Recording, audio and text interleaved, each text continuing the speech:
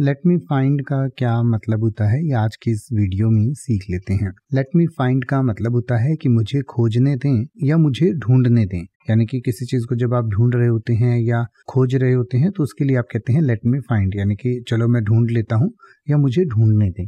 तो जैसे कि अगर आप ये कहना चाहें कि मुझे यह दस्तावेज़ ढूँढने दीजिए, जिसकी आपको आवश्यकता है तो आप कह सकते हैं let me find the document you need या अगर आप ये कहें कि मुझे आपके लिए उत्तर ढूँढने दीजिए, या मैं आपके लिए उत्तर ढूंढता हूँ तो आप कह सकते हैं let me find out the answer for you या अगर आप ये कहना चाहें कि मुझे इस समस्या का समाधान ढूँढने दीजिए तो आप कह सकते हैं let me find a solution to this problem अब आप ऐसे ही किसी भी वर्ड का मतलब हिंदी और इंग्लिश में यूट्यूब पर सर्च कर सकते हैं। आपको मेरी वीडियो मिल जाएगी, जिसमें आप बिना किसी फालतू बकवास के सीधा उस वर्ड का मतलब समझ पाएँगे। तो ऐसी ही वीडियोस को देखते रहने के लिए चैनल को सब्सक्राइब करें और बेल आइकन को प्रेस करें।